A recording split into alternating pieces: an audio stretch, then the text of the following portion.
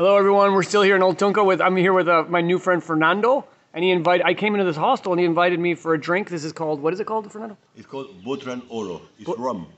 It's rum and it's from.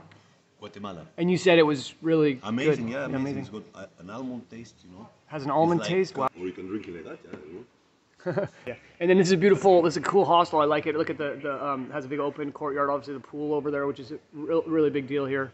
For, I think that feels really good. Um, and there goes Fernando. I was literally sitting here talking to him, having the rum. See, I have a little left, and uh, having this conversation. He's like, "Okay, I gotta go running," and he literally just ran ran off. That's cool though.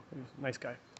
Okay, now I'm in San Salvador, and I just ordered this. Everyone's really friendly still. Um, three bucks for all this. so this is pla- this place called Samsil. Samsil, and uh, yeah, it's right by the. It's right in the old town, the Centro Histórico, and uh, I'm excited to eat it. And I guess that's by the Centro Histórico too. Okay, buen provecho. This is where I stayed tonight. Nice and clean, economical, 35 bucks a night. Hotel Palacio. This is the Centro Histórico in San Salvador. Here's my truck. Just kidding. Um, another truck. This, I think, is like a government building, and there's a really cool building over here. Really kind of some cool uh, architecture. Uh, yeah, you see that? Um, it's I think it's the biblioteca, which is which means library. So this is kind of cool. I'm waiting here for a motorcycle. It's like a motorcycle taxi. It's a local kind of like Uber app. It's called InDrive or maybe InDriver. So he's gonna come, and I think I hear. Okay, wait, I think he's here. Listen to this. Right here. Oh wait, I think was that him? No.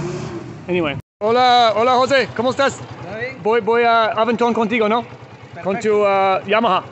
Ok, andalame, uh, ándale. this is why I love to travel. Oh yeah, estoy grabando un video. Awesome. Darwinism, baby.